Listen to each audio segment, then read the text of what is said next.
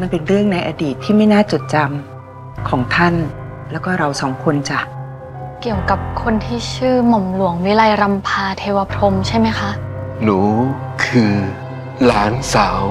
ของฉัน พวกจะยอมให้เรื่องนี้ทำให้เราต้องเลิกรักกันเหรอพวกเคยได้ยินไหม